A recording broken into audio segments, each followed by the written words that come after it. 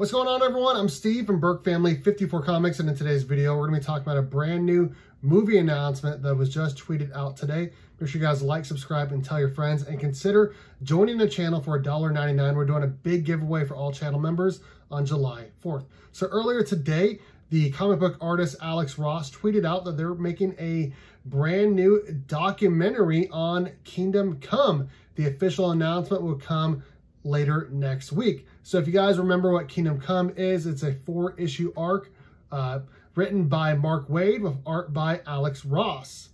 In the near future, the DC universe is spinning out of control. The new generation of heroes have lost their moral compass, becoming as reckless and violent as the villains they fight. The previous regime of heroes, the Justice League, returns under dire circumstances, which sets up a battle of the old guard against these uncompromising protectors and a conflict that will define what heroism truly is.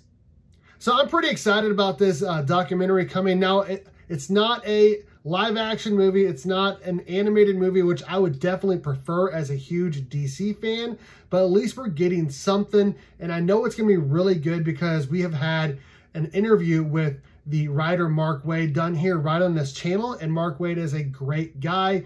We already know that Alex Ross is an amazing artist. I'm really, really excited about this announcement of a documentary of Kingdom Come, the amazing four issue arc, again, done by Mark Waid and Alex Ross.